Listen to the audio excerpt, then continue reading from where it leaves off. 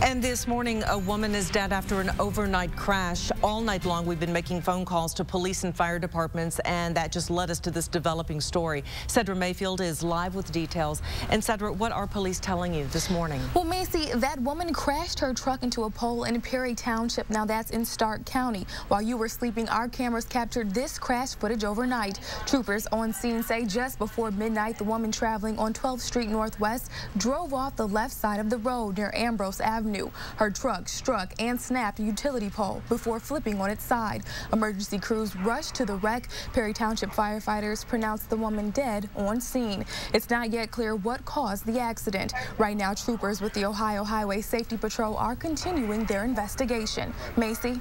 All right, Cedra. Thank you.